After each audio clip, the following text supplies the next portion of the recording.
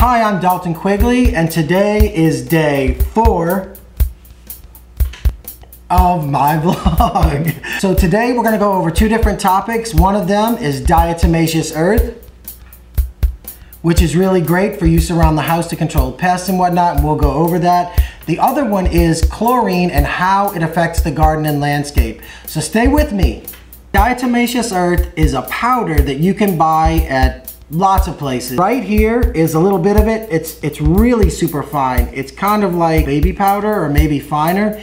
And it's made from these little microscopic creatures. When they died, they became fossilized. We dig that stuff up, grind it up real fine. We take it in its powdery form and use it for other stuff like this. You can use it to control those little black ants and spiders by making a barrier around your home. You can use it on pets to control pests. You can use it in toothpaste. You can use it in cat litter. And that was some great information about diatomaceous earth. So our second topic is chlorine and what it's doing in the garden. But before I get to that, I wanna tell you that I have a website called landscapetheyard.com that's got some great pictures for your website if you're a landscaper and you happen to need them. So great, let's take a look at what chlorine is doing in the garden.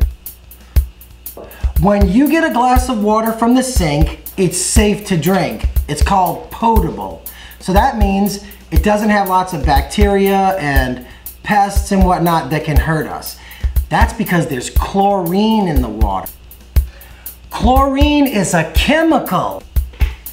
It makes our water safe to drink because it kills stuff. If it kills stuff, what does it do in the soil? Huh? Researchers at Colorado State University, and there'll be a link down below in the text if you're on YouTube, but researchers there have found that the chlorine in water affects the top half of an inch of soil. So beneath that, everything else appears to be okay, but imagine if you took the, the main part, which most plants bring, breathe, eat, and drink within the top two inches of soil. If you take that very top layer where they're absorbing a lot of the nutrients from the air and whatnot, and you took out a lot of the microorganisms, that's what would happen if you used chlorinated water to water your plants. Huh? This has been day four. Thank you for watching my video. If you like my video, please give me a thumbs up. There's usually a little share button down there right next to the Facebook. Share that with your friends because I'm sure they got those little black ants and they don't want them in the house. Or they've got spiders and this stuff is really good for that, the diatomaceous earth. Or there are people who are trying to grow some vegetables at home and they want to make sure they get more production, maybe some more tomatoes and onions and whatnot. In that case, you want to use water from a rain barrel or some other source or maybe use a filter so that you kind of filter out some of that chlorine. Anyway, stay with me, watch my videos. Next one is going to be day five and subscribe. Don't forget to go to my YouTube channel, subscribe. I want to see you there and see you next time on day five. Bye.